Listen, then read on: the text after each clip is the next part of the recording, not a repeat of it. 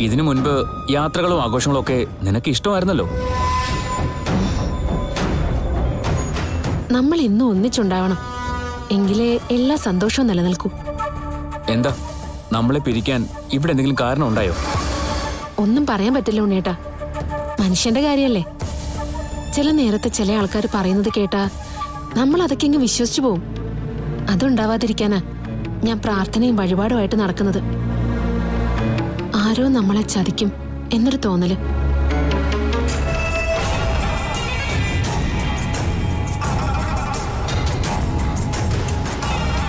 നീ വന്ന് കയറും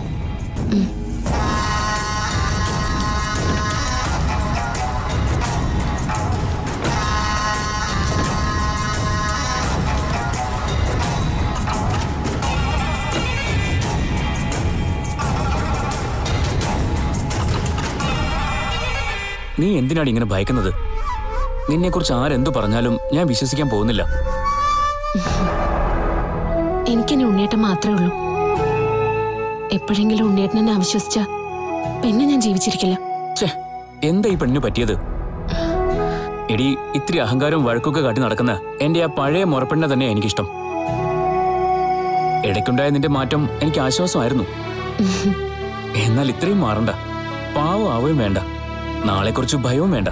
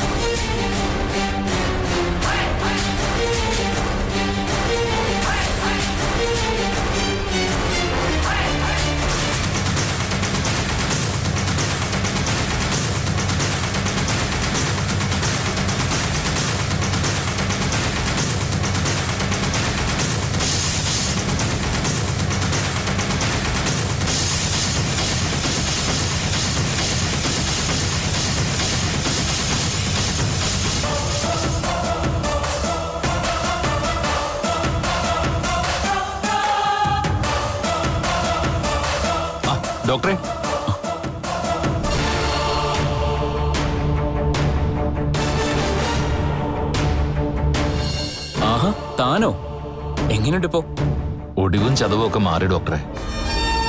ഇപ്പം മനസ്സിനെ മുറിവേറ്റിരിക്കുന്നത്. ആ പരിക്ക് പെട്ടെന്നൊന്നും ഭേദാവില്ല. അതെന്തു പറ്റി? അതിലേക്കൊന്നും ഞാൻ കിടക്കുന്നില്ല. മാനസികമായ എന്തെങ്കിലും പ്രശ്നം ഉണ്ടെങ്കിലേ ഇവിടെ നല്ല സൈക്കാട്രിസ്റ്റ് ഉണ്ട്. കാണാം. ഇതങ്ങനെ മനഃശാസ്ത്രജ്ഞന് തീർക്കാൻ പറ്റുന്ന കാര്യമല്ല ഡോക്ടറെ. ആ അതൊക്കെ പോട്ടെ. ഡോക്ടർ ആ കാവശ്ശേരിയിലെ പെൺകുട്ടിയാണ് വിവാഹം കഴിച്ചിരിക്കുന്നത് അല്ലേ? അതെ. എന്താ? എന്റെ ഭാര്യ തന്നെ അറിയോ? അറിയും. നേരത്തെ ഒരു പരിചയമുണ്ട്. ഓ. ഈ ഹോസ്പിറ്റലിൽ വിജിതയുടെ ആണ് അന്ന് കണ്ടപ്പോ പറഞ്ഞിരുന്നെങ്കിൽ അവളിവിടെ വന്നപ്പോ കാണാൻ പറയായിരുന്നു. സാരമില്ല. ഞാനൊരു ദിവസം വീട്ടിലേക്ക് വരാം. ഓ ആയിക്കോട്ടെ. ഡോക്ടറെ എത്ര നാളായി നിങ്ങളുടെ വിവാഹം കഴിഞ്ഞിട്ട്? കഷ്ടിച്ചു മൂന്ന് മാസം. അത്രയായിട്ടുള്ളൂ അല്ലേ? അവൾ എന്റെ മുറപ്പെണ്ണ. മാമന്റെ മോൾ. അറിയാം. കാവശ്ശേരി കരുണനെ. അല്ല ദീപനിപ്പോ ആരെ കാണാൻ ഇങ്ങോട്ട് വന്നത്? അല്ല ഇവിടെ അടുത്തുവരെ വരേണ്ട ഒരു ആവശ്യം ഉണ്ടായിരുന്നു. എന്നാ പിന്നെ ഡോക്ടറെ ഒന്ന് കണ്ടിട്ട് വിവരങ്ങളൊക്കെ തിരക്കിട്ട് പോവാന്ന് കരുതി. ഞങ്ങൾ പരിചയപ്പെട്ടിരുന്ന കാലത്ത് കുറച്ചൊക്കെ ദേഷ്യവും വാശിയൊക്കെ ഉള്ള കൂട്ടത്തിലായിരുന്നു വിജിത. അല്ല ഇപ്പോഴും അങ്ങനെയൊക്കെ തന്നെയാണോ? വിവാഹം കഴിച്ചുകൊണ്ട് വരുമ്പോ ഉണ്ടായിരുന്നു. ഇപ്പോഴവൾ മൊത്തത്തിൽ അങ്ങ് മാറി.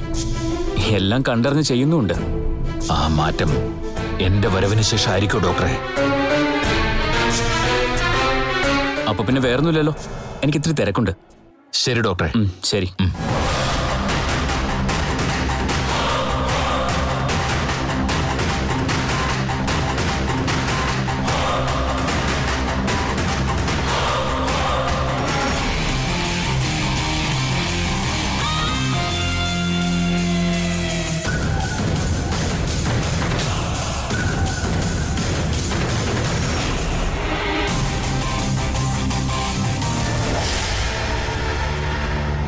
ഇനി അവൻ എന്തെങ്കിലും അറിഞ്ഞു കാണോ? അതാ എന്റെയും സംശയം. അല്ലെങ്കിൽ നമ്മളെ കാണണം ഒരു അത്യാവശ്യ കാര്യമുണ്ടെന്നും ഈ സമയത്ത് പറയില്ലായിരുന്നു. ദീപനെല്ലാം അറിഞ്ഞെങ്കിൽ അവന്റെ മനസ്സ് ശാന്തമാകുന്ന രീതിയിൽ സംസാരിക്കണം. ഇനി ഒരിക്കലും അവനെ ഒരു കൊലയാളി ആക്കരുത്. വേണമെങ്കിൽ അവനെ നമുക്ക് നമ്മുടെ കൂടെ കൂട്ടാം. സത്യം അറിയാതെ ബന്ധുക്കളും നാട്ടുകാരും തള്ളിക്കളഞ്ഞവനാ. അങ്ങനെയുള്ളവനെ എല്ലാം അറിയാവുന്ന നമ്മൾ സംരക്ഷിക്കുന്നതിൽ എന്താ തെറ്റ്?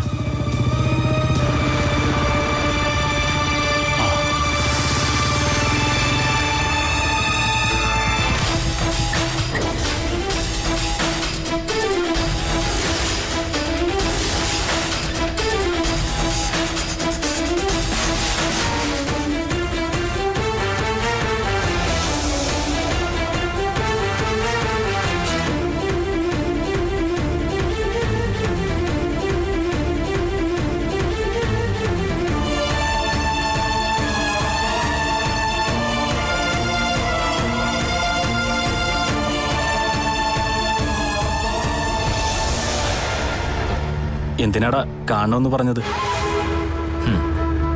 ഇത്തവണ ചിങ്ങമാസത്തിലെ തിരുവോണത്തിന് വലിയ ആഘോഷങ്ങളൊന്നും ഇല്ലല്ലോ. മാറാരോഗം അതിനൊരു തടസ്സമായിരുന്നു.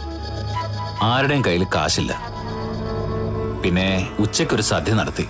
എല്ലാവരും ഓണം ഉണ്ടെന്ന് അറിയിച്ചു.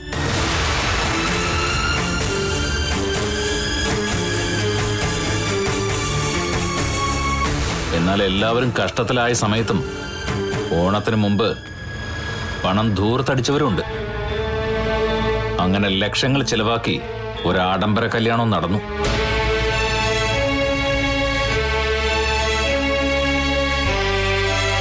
വരൻ മതിലക തുണ്ണി. വധു കാവിശ്ശേരി കരുണന്റെ മകൾ വിജിത.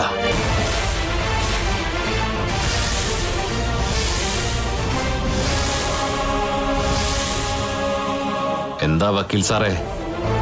എല്ലാം അറിഞ്ഞിട്ടും നിങ്ങളത് മറച്ചു വച്ചത്. നമ്മൾ എത്രയോ ദിവസം എവിടേക്കോ വെച്ച് കണ്ടു സാറേ.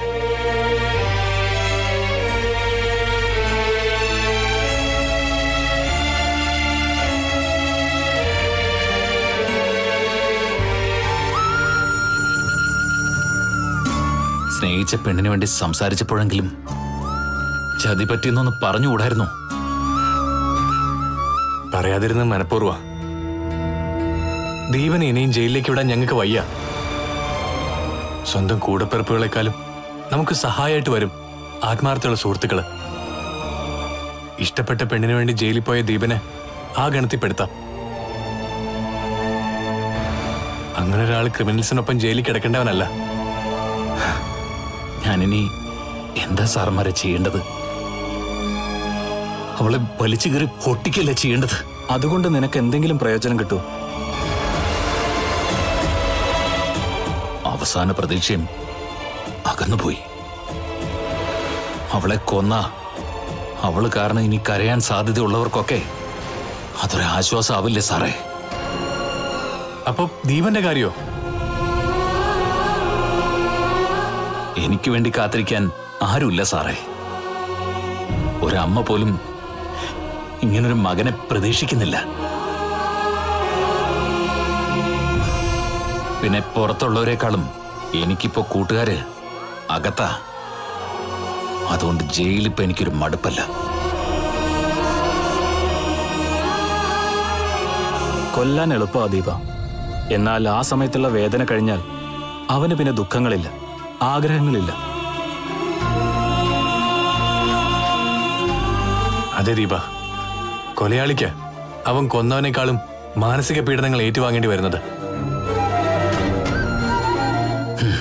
ശരിയാ സാറന്മാര് പറഞ്ഞത്. കൊല്ലുന്നതിനേക്കാൾ നല്ലത് ജീവിച്ചിരിക്കുമ്പോ തന്നെ അവൾ ഒരുപാട് തവണ മരിക്കുന്നതാ.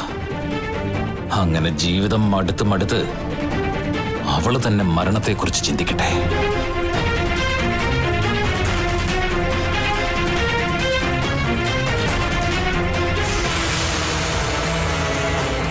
അതെ. അതാണ് ശരി. അതുകൊണ്ട് തൽക്കാലം ഞാൻ യാഥാർത്ഥ്യം മനസ്സിലാക്കിയെന്ന് അവളെ അറിയിക്കുന്നില്ല.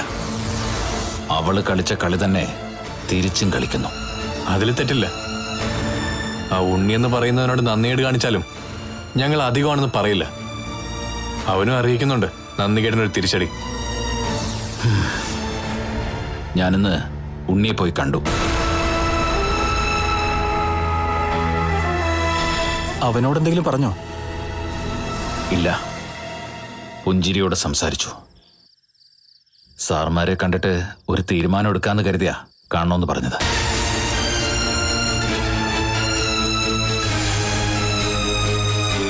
എന്റെ ചങ്ക് പറഞ്ഞുപോയ ദിവസം അന്ന് എന്നുവച്ചാ അവൾ ചെയ്ത തെറ്റ് ഏറ്റെടുക്കുമ്പോഴും കോടതിയിൽ കുറ്റസമ്മതം നടത്തുമ്പോഴും ഞാൻ ഇത്രയൊന്നും വേദനിച്ചിട്ടില്ല. നാളെ പുറത്തിറങ്ങുമ്പോൾ എനിക്കൊരു ജീവിതം ഉണ്ടാവുമല്ലോ എന്ന് കരുതി.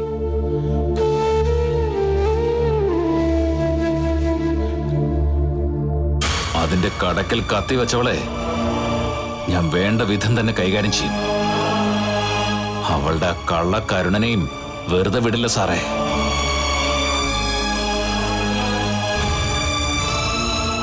ഒരു പാവം മനുഷ്യനെ അവൻ ജയിലിനകത്തിട്ടല്ലോ. മതിലകത്തെ കണ്ണേട്ടന്റെ സങ്കടത്തിന് പരിഹാരം കാണാൻ ദൈവം അയച്ചത് എന്നെ. പരമോന്നത കോടതി.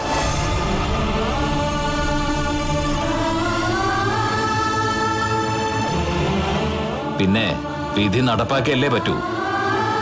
സാവകാശം ഞാനത് ചെയ്തിരിക്കും. എനിക്ക് കേടുപാട് പറ്റാതെ.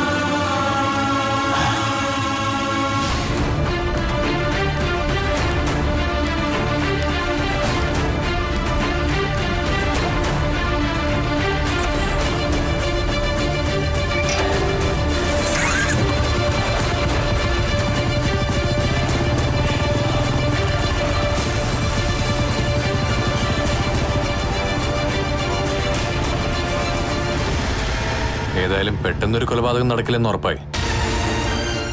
പിന്നെ അവൻ ഇഞ്ചിഞ്ചായി കൊല്ലുന്നെങ്കിൽ ആയിക്കോട്ടെ. അത് അവളും അവളുടെ അച്ഛനും അമ്മയും ഒക്കെ അറിയിക്കുന്നുണ്ട്.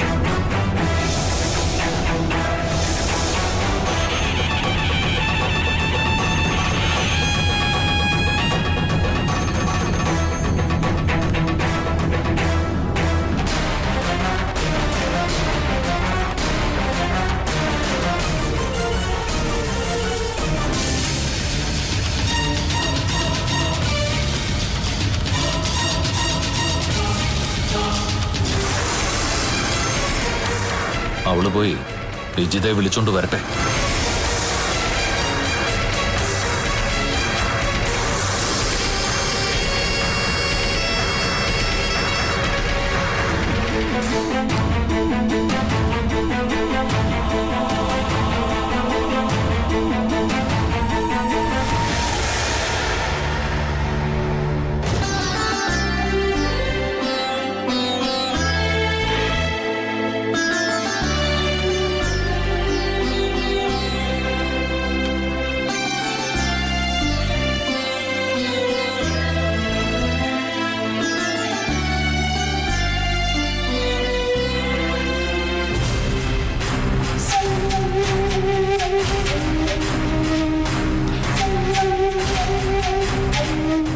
വന്നിട്ടുണ്ട്.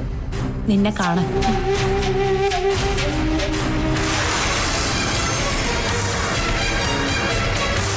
ആര്? വേറെ ആരാ? അയാൾ തന്നെ. നീ പുറത്ത് വെച്ച് കാണാറുള്ള ആൾ. നീ അവനോട് സംസാരിച്ചോ? കണ്ടപ്പോഴേ അകത്തേക്ക് നടന്നു. മുഖം കൊടുത്തില്ല. പെട്ടെന്ന് അയാളെ പറഞ്ഞുവിടാൻ നോക്ക്. ഉണ്ണിയേട്ടൻ വരുന്നതിന് മുമ്പ്.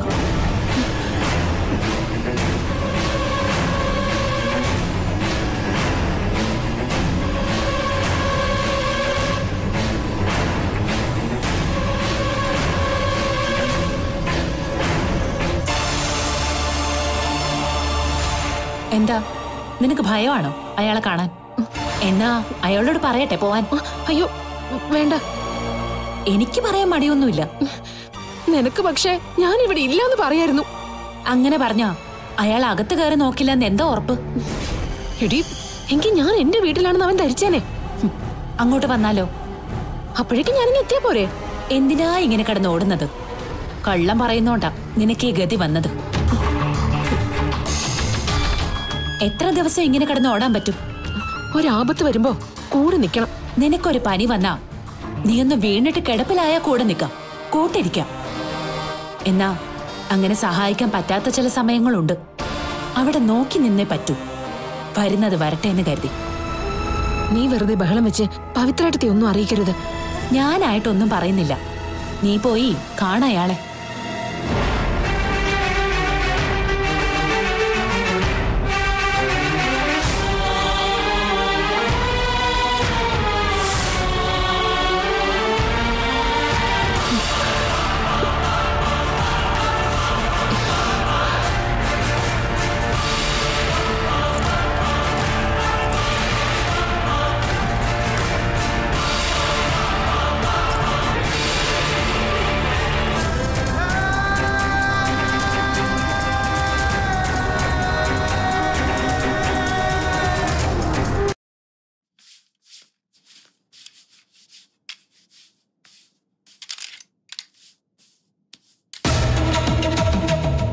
പവിത്രയെടുത്തി.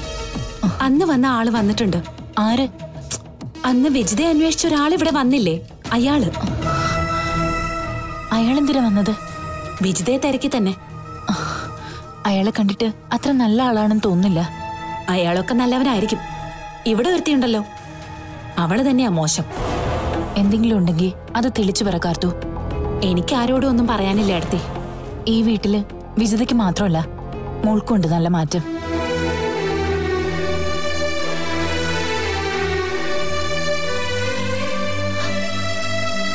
ഞാൻ ചോദിച്ചല്ലോ ഇടത്തിയോട് നമുക്കിവിടുന്ന് എങ്ങോട്ടെങ്കിലും പോവാൻ മാർഗമുണ്ടോന്ന്. എന്തിനാ ഇപ്പൊ അങ്ങനെ ചിന്തിക്കുന്നേ? അവൾ കുറച്ച് സ്നേഹം കാണിച്ചപ്പോ ഏടത്തി അതിലങ്ങ് മയങ്ങിപ്പോയോ? നാളെ വിജിത പഴയ സ്വഭാവത്തിലേക്ക് തിരിച്ചു വരുമെന്ന ബോധത്തോടെ തന്നെയാ ഞാൻ ജീവിക്കുന്നത് നമ്മുടെ കണ്ണേട്ടനെ ജയിലിലാക്കിയ ആളുടെ മോളാ വിജിത. അതെപ്പോഴും ഓർമ്മ വേണം. ആരാ പിന്നെ ഇതൊക്കെ മറക്കുന്നത്? നന്ദനമോളെയും കാർത്തൂനെ ഓർത്തുകൊണ്ട് മാത്ര ഞാൻ ഈ പടിയിറങ്ങി പോവാതിരുന്നത്. വിശപ്പ് സഹിക്കാനൊക്കെ എനിക്ക് പറ്റും. എന്നാ നിങ്ങൾ രണ്ടാളും വിശന്നിരിക്കുന്നത് കാണാനുള്ള ശേഷിയില്ല എനിക്ക്. നമുക്ക് എന്തായാലും ഈ വീട്ടിൽ നിന്ന് പോവേണ്ടി വരും അടുത്തി അതിനുള്ള അവസരം വരും.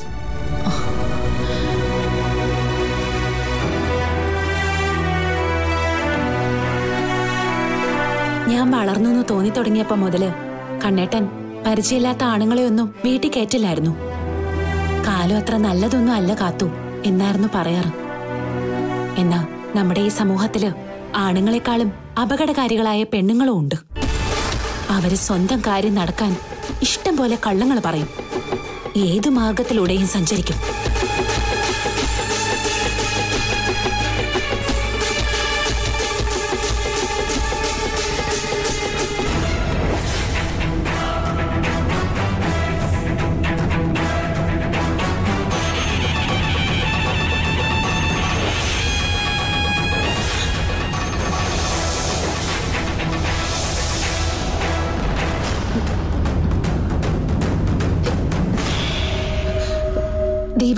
ഇങ്ങോട്ട് വന്നത്? നീ എന്തിനാ ഏത് നേരം ഇവിടേക്ക് വരുന്നത്?